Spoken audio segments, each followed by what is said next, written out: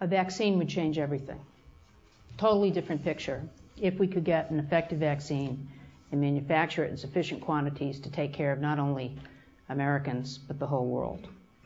We ought to be putting all of our resources in this area. We ought to be marshaling the best of America's extraordinary scientific genius and our manufacturing prowess to try and figure out how we accomplish that. And we ought to be leading the world, leading all of the other vaccine manufacturers in other countries as well as the other governments of the world on a coordinated effort to develop a candidate vaccine and then to very rapidly manufacture it and distribute it should a pandemic breaking out. We're not doing that.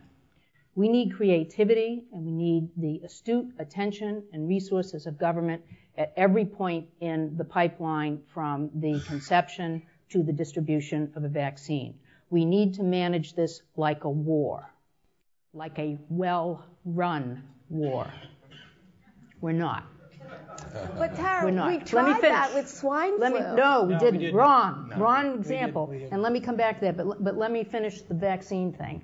You know, we, if we did this right, America could not only claim an enormous triumph for science and the human spirit, it would be a major diplomatic victory around the world. We would be consonant with the highest values of American transition, tr- uh, tradition. If we blow it, which we are well on our way to doing, even if we succeed for America, let's say we get enough vaccine for all Americans, and in Fortress America, we're the only ones who survive a terrible pandemic. That will be remembered for generations and will mark us for generations.